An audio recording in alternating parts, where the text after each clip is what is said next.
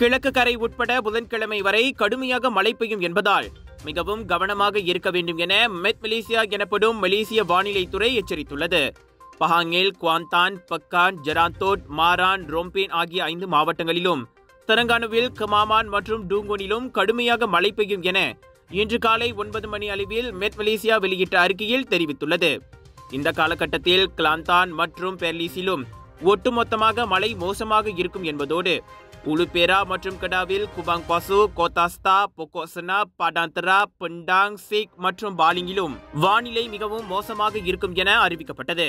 மேலும் பஹாங்கில் லீபீஸ் ராவோ பென்தோங் துமுர்லோ மற்றும் பேரா ஆகிய வட்டாரத்திலும் வானிலை மிகவும் மோசமாக இருக்கும் என எதிர்பார்க்கப்படுகிறது. ஜொஹோரில் சிகாமாட் மர்சிங் கோத்தாத்திங்கி ஆகிய இடங்களிலும் கடுமையாக மழை பெய்யும் என தெரிவிக்கப்பட்டுள்ளது.